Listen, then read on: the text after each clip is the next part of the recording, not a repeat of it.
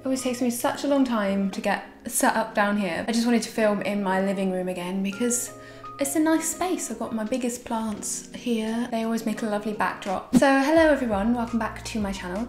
Uh, today's video is a favourites video and I've wanted to make this for the longest time because I've been accumulating some cool stuff and I've just been really excited to shout out some other creators and people that are doing really amazing stuff. It's going to be a mixture of illustrators, artists, YouTubers that I am inspired by at the moment, vegan food of course, jewellery, what else have I got? One item of makeup and a few other little accessory things. So let's get into the video. So the first favourite that I want to talk about today is Ana Luisa Jewellery.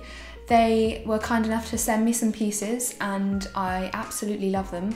I had actually heard of the brand before. Um, I'd heard another YouTuber talk about them and the fact that they make all of their jewellery out of recycled gold, which I thought was really cool. But I didn't know much about the production of gold and um, so through working with Ana Luisa, who are sponsoring today's video, I was able to find out that it actually takes 20 tons of earth to mine one gold ring. So that is so much destruction for the environment. Anything that I can buy secondhand or used or recycled, I absolutely want to do. So yeah, all of their gold is recycled. I'm currently wearing my favorite earrings from them. These are extra thick gold hoops.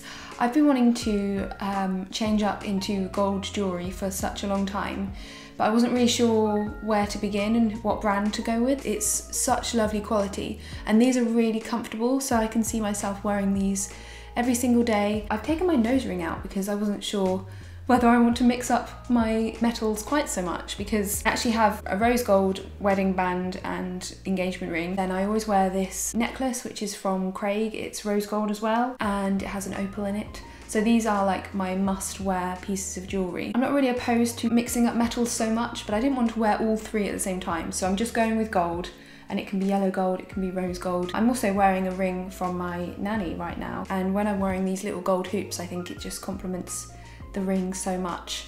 Um, I also have another pair, which I absolutely love as well. They are slightly bigger. I see a lot of girls wearing these chunky gold hoops and I love the way it looks with like more casual styled clothing. So I'm gonna try and style these. They're really beautifully made um, and I love the fact they're made from recycled gold and also I have a code to give you. The code will be in the description and I'll also put it up on screen and you will get $10 off your order. So definitely go check them out, have a look on their website. They've got lots of really minimal pieces of jewellery, things that are quite dainty. They've also got some more like statement pieces and I will probably be going back to buy more. Next up, I want to talk about some books. I've been really excited to shout out these books and encourage you to go look at them. The first one is a cookbook. This is the Hella Heavenly HBOT Home Cookery Cookbook and it's by Phoebe Thorburn, otherwise known as Honey Bunch of Onion Tops. And um, if you are a patron, you will have heard me talk about Phoebe's channel before. She has a really lovely, comforting cooking channel where she just shares what she eats in a day, what she eats in a week, different recipes she's testing. Definitely check out her channel, that will be linked in the description. But also this book, which is a collection of her recipes, has been such an inspiration to me because at the moment I'm writing a a cookbook, as you know. So having this as inspiration is amazing because this is all self-published. Thank you, Phoebe, for making this book and inspiring me so much. This is definitely going to stay in my collection for a long time.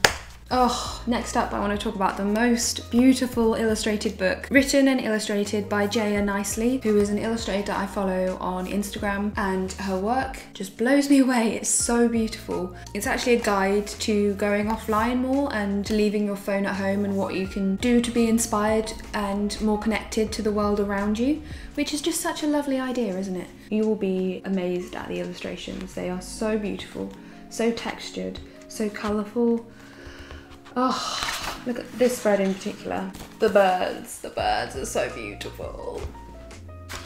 And this one, of course, a double spread of just beautifully painted leaves. Mm. This is the last of the books that I want to shout out in this video. They are two pug books and they're actually kids books, I believe, published by Scholastic Press and written by Flora Ahn who is a fellow illustrator, obviously, and a fellow pug owner. So these stories are inspired by her own pugs. I actually had the honour of painting her three dogs. This might sound really lame for like a 31 year old to say, but we've been reading these before bed. They're just so comical and light-hearted and if you are a pug owner there's just so many little bits in this that will make you smile because the way she describes the pug's attributes and what they get up to throughout the day it's just very funny and these are just lovely books. So if you have a child in your life who is obsessed with pugs, then these books are definitely some to check out. Talk about food next, shall we? The first vegan treat that has been a favourite of mine since they first launched is the Rhythm 108 chocolate bars, the praline ones. I don't have any to show you right now because obviously if they're in my house, I'm gonna eat them within the first 24 hours, so they are long gone. They're just so good. You can't tell they're vegan at all, and I think that's true of a lot of their range of things, and no refined sugar and stuff like that, but you cannot tell. They're just delicious little treats. Um, and if you are someone who loves praline, praline and milk chocolate and you feel like you're missing that on a vegan diet, definitely check them out. I think they are sold in Sainsbury's. Also from Sainsbury's, I can show you an empty packet of fishless fillets from Gardein. Uh, so these are like an American brand that have recently been started to be stocked in the UK. These are just so flaky and meaty and delicious. Really recommend having them in like a sandwich with some tartar sauce.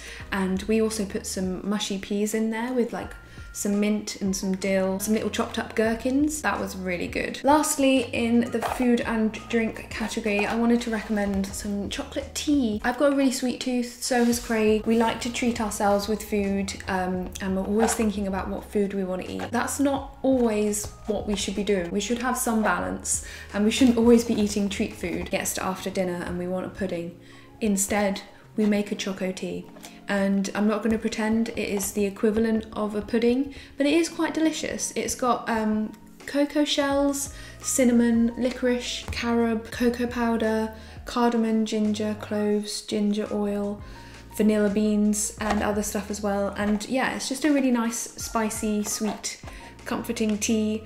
We have it with oat milk and then I sometimes put a little bit of agave syrup in there as well. I wanted to shout out some sunglasses that I got. These are from Ace and Tate, which are a really cool brand. They make sunglasses and regular glasses and they do lots of different styles. These are unisex and I really like them. they are quite big and sturdy, so hopefully I won't break or lose these. To mention some makeup. I've had this since my wedding, which was last summer, so I've had it for a while. I think some people might think that's gross, but I don't wear that much makeup when, unless I'm filming videos, so I don't wear much during the week. My makeup lasts a long time. This is from Charlotte Tilbury. It is the Hollywood Flawless Filter. As I've got older, I've noticed that my skin is not looking so good anymore. I've got really dry skin, so it's not very luminous without a little bit of help. It just can look quite dull sometimes. So I've been putting this, I just put it on my cheekbones and my brow bone.